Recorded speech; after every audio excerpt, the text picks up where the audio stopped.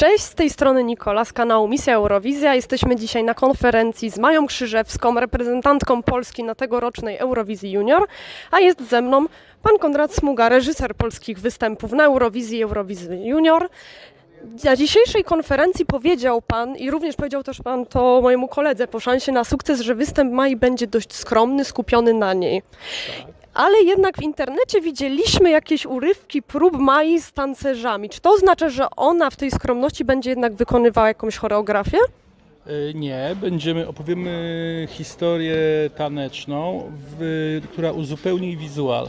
Wizual składa się pierwsza z historii Eurowizji z osobistych wykonanych przez rodzinę i Maję zdjęć, czyli będzie jakby opowiadało jej, o jej świecie, o jej życiu i będzie do tego historia taneczna u- opowiadająca historię przyjaźni, rozstania, i to mm, będzie dość skromne, bo nie będzie tak jak widzieliśmy nawet rok temu y, różnych nakładek, y, wielkich y, efektów i tak dalej. Będzie to, będzie to na pewno bardziej intymne, bo też historia jest intymniejsza. Historia o przyjaźni, o tym, że potrzebujemy ludzi prawdziwych, a nie wirtualnych, że potrzebujemy bliskich do życia.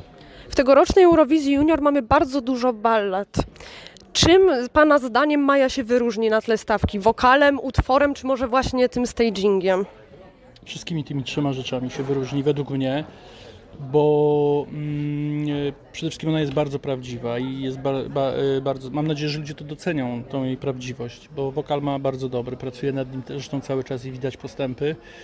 Staging będzie inny niż zawsze, e, niż na pewno się będzie wyróżniał wśród nikt tego, nikt tak nie zrobi z tego co wiem, jak, jak my tego stagingu. No mam nadzieję, że ludzie ją pokochają, bo warta jest tego. Na dzisiejszej konferencji również zostało powiedziane, że Pan ma już właśnie wieloletnie doświadczenie w pracy reżysera i chciałabym zapytać, jak wygląda taka praca? Czy przez ten cały okres czasu, przez te lata wygląda jakby ta praca to samo? Czy wyciąga Pan jakieś wnioski na przykład i sobie myśli, że hmm, tam to mogło wyglądać lepiej i następ, jakby przy następnym podejściu te uwagi, które Pan sam znalazł w swoim występie, są one wdrążane w życie? Są dwie różne historie, bo po każdym y, moim programie, czy występie eurowizyjnym, czy programie, bo robię ich dość dużo, zawsze wiem, że mogło być lepiej. I to absolutnie jest tak, bo nie, nie widzę nigdy właśnie, wszyscy są, że mnie się śmieją, że wszyscy przychodzą z gratulacjami, mówię, nie, nie, tam mogło być lepsze ujęcia, tam mogło być, bo to na tym polega moja praca, żeby szukać tych, tych, tych y, rzeczy, które można by było poprawić. Potem na przykład jak dzisiaj oglądałem, bo nie oglądałem rok tego występu z y, Rewania, to uważam, że był świetny, a po, po nim oczywiście sobie wypisałem całą listę rzeczy, które mogłem zrobić lepiej. Ale to zostawmy. y, To jest jakby jedna strona. Natomiast, natomiast każdy występ eurowizyjny jest inny, bo inną osobą była Sarah James. Miała inną piosenkę, o czym innym i tak dalej. Inną piosenkę, bardzo zresztą o wyrazistym tekście, miała e, Roxy Węgiel i tak samo inną piosenkę miała e, Vicky Gabor, prawda?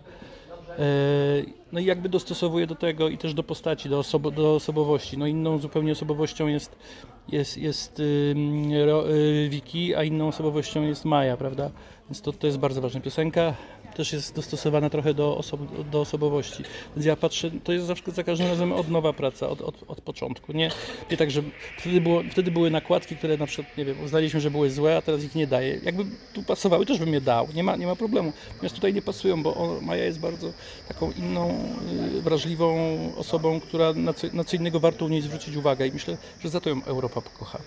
I ostatnie moje pytanie. Po szansie na sukces powiedział Pan koledze, że Pana zdaniem zwycięstwo Mai może naprawić relacje z fanami Eurowizji. Czy uważa Pan, że to się udało? Nie wiem, to, to do Was pytanie bardziej, bo myśmy, mm, ja, ja byłem bardzo krytyczny wobec ostatnich y, wydarzeń na Eurowizji dużej, której nie robiłem i uważałem, że to te rzeczy, które tam się działy były złe. Nie chcę ich wspominać, bo każdy wie o czym mówię. Nie powinny się takie rzeczy zdarzyć, dopóki ja tam miałem y, coś do powiedzenia. Nigdy takie rzeczy nie miały miejsca. Mieliśmy świetną opinię w IBU, jeszcze na co zapracowaliśmy świetnymi wynikami i świetnymi y, organizacją Eurowizji Junior 2019-2020. Przypominam, w pandemii bardzo trudne.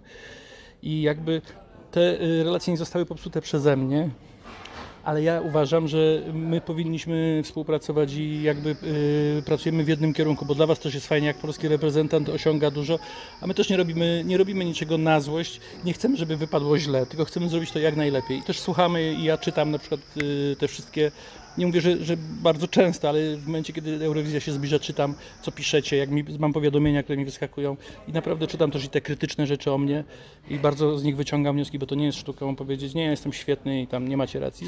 Warto, warto przeczytać. Nie ze wszystkimi się zgadzam, ale wyciągam wnioski. Więc y, oddanie głosowania widzom y, w finale było bardzo dużym gestem z naszej strony. E, bo jak wiecie, Maja dostała ode mnie jeden punkt w, w głosowaniu i też się do tego przyznaję, więc nie była moją faworytką, ale to wy ją wysłaliście jako widzowie i ja robię wszystko, żeby ten wybór był jak najlepszy. Czy ta y, odpowiedź Panią satysfakcjonuje? Myślę, że tak. Dziękujemy bardzo za rozmowę i życzymy powodzenia w Nicei. Nie dziękuję za, za życzenia.